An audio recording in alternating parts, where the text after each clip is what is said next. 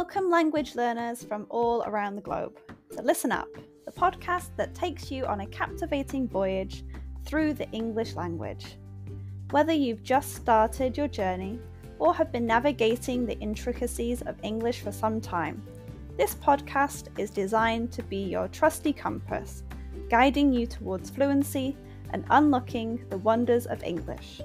I'm your host, Karen, a passionate traveller and an experienced teacher of English as a second language. Join me as we embark on an exciting expedition filled with British history read by a native speaker. Together, we'll conquer the challenges and celebrate the victories of learning English as a foreign language. Each episode of Listen Up will immerse you in a variety of topics, from aspects of British culture, history, and literature we'll explore useful vocabulary that will empower you to communicate confidently in English. If you want to read along with the podcast, head to my website www.onepawinthesand.com slash ESL. The link is in the description.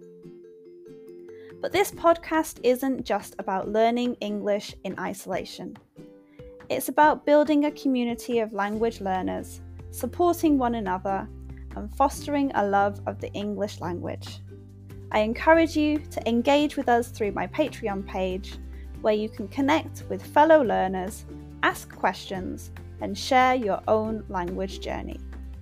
So, whether you're sipping tea in Tokyo, walking the streets in Sao Paulo, or studying in a bustling cafe in Berlin, listen up is here to accompany you on your quest for English fluency. Join me as we embark on this transformative expedition where language becomes an adventure and your dreams of effective communication become a reality.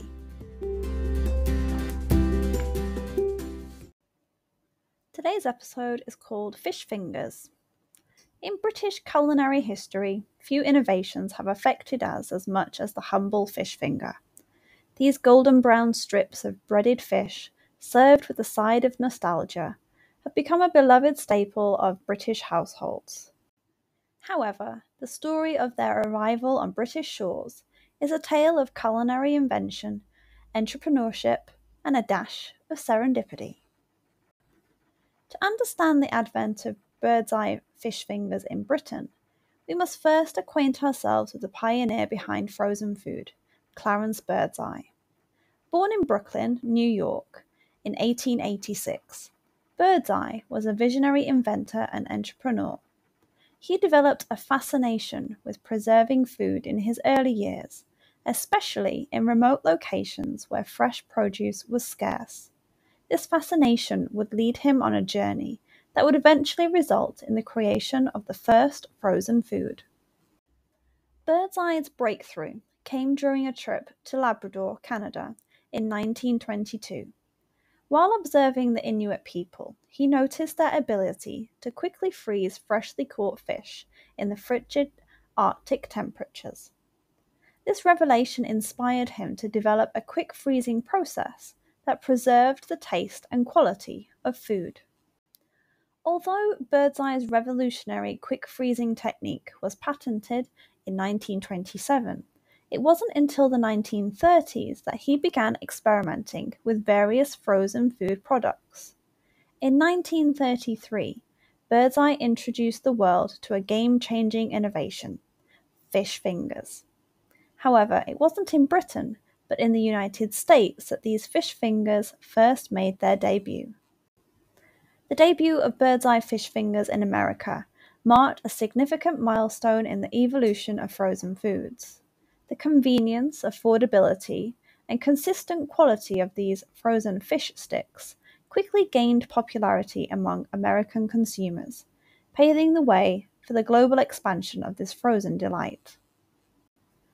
In the years following the introduction of Birdseye fish fingers in the United States, the product's reputation continued to grow post World War II era was a time of recovery and renewal in Britain, and the convenience of frozen food was poised to capture the imaginations and appetites of the British public. It was on this day, 26th of September 1955, that the true British fish finger revolution took place. Birdseye, recognising the potential of the UK market, launched their fish fingers officially under the name Bird's Eye Fish Fingers. This momentous event occurred at the height of Britain's post war optimism and the embrace of new technologies, making it the perfect time for the introduction of this innovative product. The launch of Bird's Eye Fish Fingers in Britain was met with enthusiasm and curiosity. British consumers were initially intrigued by the novelty of frozen fish as a quick and convenient meal option. However, it was the taste and quality that truly won them over. Bird's Eye's commitment to using sustainably sourced fish and the meticulous freezing process ensured that each fish finger retained its flavour and texture. They were an instant hit with families seeking a convenient and delicious meal option that required minimal preparation. Over the years, bird's eye fish fingers have become a cultural icon in Britain. They have appeared on countless dinner tables, school lunch trays, and even in popular TV advertisements featuring the catchy jingle, Only the Best for the Captain's Table. These fish fingers transcended their humble origins, becoming a symbol of comfort, reliability, and a connection to childhood memories for many, including me.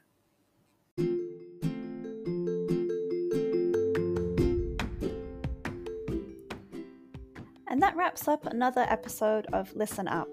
I hope you enjoyed learning about my topic today and practicing your English. Remember, the exploration doesn't have to end here. If you have any lingering questions or want to continue the conversation, I've got some great opportunities for you. First off, I offer private lessons for those of you eager to expand your knowledge further, whether it's practicing today's subject or exploring other topics. I'm here to guide you on your English journey.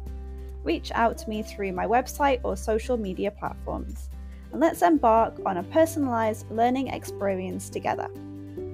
I have been involved with training people for more than 10 years. I've been teaching English as a second language for over a year, in which time I have taught over 500 students, many of whom are regulars. But wait, there's more! If you're a devoted fan of Listen Up and want to show your support, consider joining our Patreon community. Your contribution directly helps us bring you more episodes and maintain the quality of our show. Your support truly means the world to me, and we couldn't continue this podcast without you. So, whether you choose private lessons or Patreon, or both, I look forward to staying connected and exploring the fascinating realms of English as a second language together. Thank you once again for joining us on Listen Up. Until next time, keep practicing.